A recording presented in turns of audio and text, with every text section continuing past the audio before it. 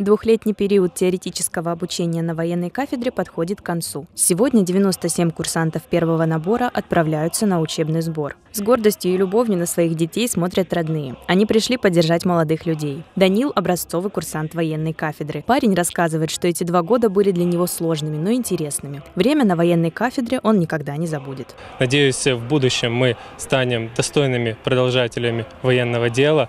Наш профессорско-преподавательский состав на должном уровне с мудростью и терпением преподнес нам ту информацию, которую они получали за годы своей военной службы. Отправка студентов на учебный сбор проводится военным комиссариатом Республики Крым. В торжественном сборе приняли участие помощник муфтия Крыма Раим Гафаров, председатель военного отдела Симферопольской и Крымской епархии протеерей Дмитрий Кратков и начальник военной кафедры Александр Александров.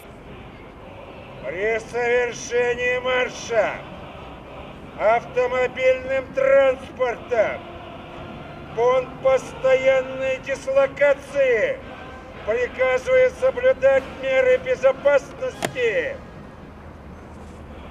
Колонну! На сборе студентам предстоит закрепить знания, полученные в аудиториях, на практике с отработкой нормативов на технике и вооружении в полевых условиях. Кульминацией учебного сбора будет трехдневный полевой выход с полной экипировкой, который закончится марш-броском на 5 километров.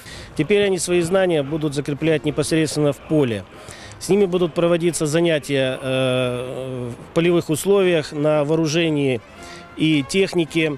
По окончании учебного сбора э, будет итоговый междисциплинарный экзамен, который э, позволит определить их э, как теоретические и практические знания и готовность пребывать в запасе в воинском звании сержанта. После успешной сдачи экзамена и по окончанию четвертого курса и получения диплома бакалавра студентам будет присвоено воинское звание сержант. Алена Арцебашева, Николай Шульга, пресс-служба Крымского федерального университета.